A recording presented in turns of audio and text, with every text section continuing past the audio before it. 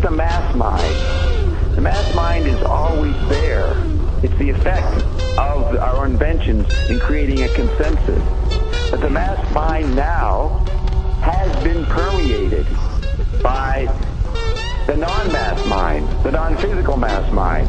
The astral mass mind is looking for, for action, wants to engage, wants to be part of this. So even the mass mind has been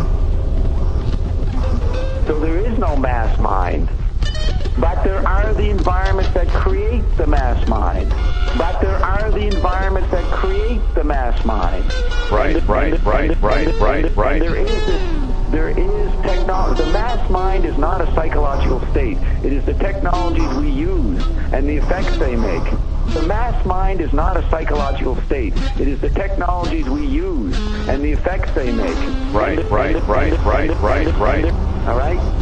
The mass mind is identifiable as the technologies we're using. That's what we're playing with. That's what the young kids are doing.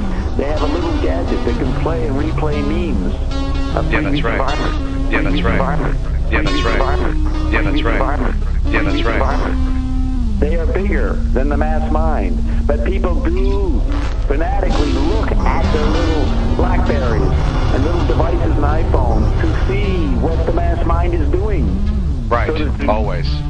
Yeah, we don't know how much we can survive securely psychologically um, without a sense of the other. That is Without the being wired in, you mean? or a sense that it's not all dependent on me. That there's something else that, that will help me. That will that will uh, uh, that I I can get in touch with you, James.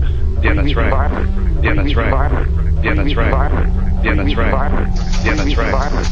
So as we become more fearless and interact with the given, the astral, the energies there, it's going to be interesting on to it's going to be interesting in what language and what our role. How much will the astral plane tolerate what we create? The new the new uh, technologies that are going to come in.